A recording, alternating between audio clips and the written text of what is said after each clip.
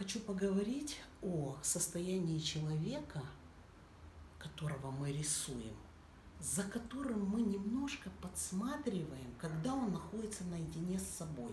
Вот набросок Лады, когда она находилась в задумчивости некоторой.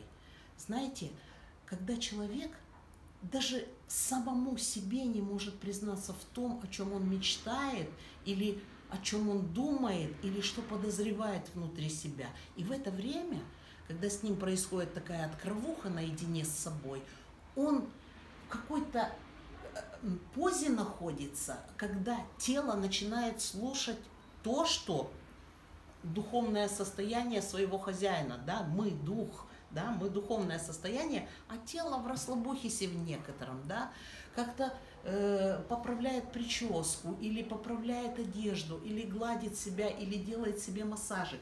Вы понимаете, вот что происходит с человеком, когда он находится наедине с собой. Прежде всего, это надо схватить в каких-то графических набросках или рисунках. И вот потом, после того, как мы порисовали таких вот такие фигурки, да, у нас э, этого мало, и мы хотим дальше их превратить в картины, как старые мастера. Они сначала делали графику, очень хорошую, с живой натуры, а потом они с этой графики делали картины.